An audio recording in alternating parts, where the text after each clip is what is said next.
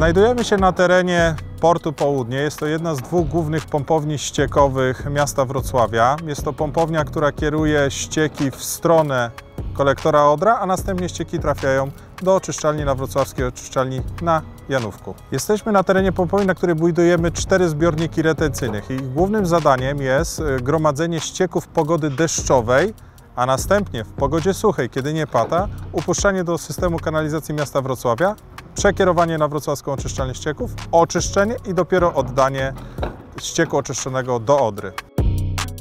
W ramach tego zadania e, zrealizowaliśmy cztery samodzielne e, zbiorniki e, cylindryczne, żelbetowe.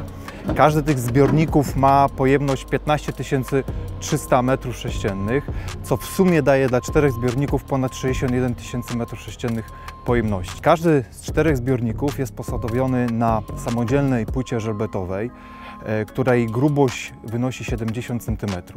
Żeby mm, wykonać jedną płytę e, żelbetową, musieliśmy zużyć 1700 m3 mieszanki betonowej, która z kolei musiała być dowieziona przez 220 samochodów.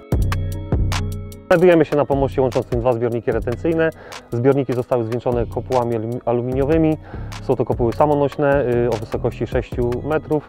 Y, Zbiorniki przed, po wykonaniu robót budowlanych została wykonana próba szczelności, woda została pobierana z Odry, zbiorniki przeszły pozytywną próbę szczelności i dlatego mogliśmy kontynuować kolejne prace. Inwestycja jest już na ukończeniu.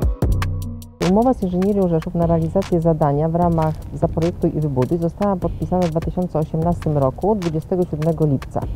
Termin zakończenia robót to w tym roku druga połowa tego roku. Koszt całkowity to jest 77 milionów złotych netto, co daje około 96 milionów złotych brutto. Jest to y, finansowane w ramach programu operacyjnego Infrastruktura Środowisko 2014-2020, którego pełny budżet to jest 160 milionów złotych netto, w tym nasze zbiorniki za 77 milionów.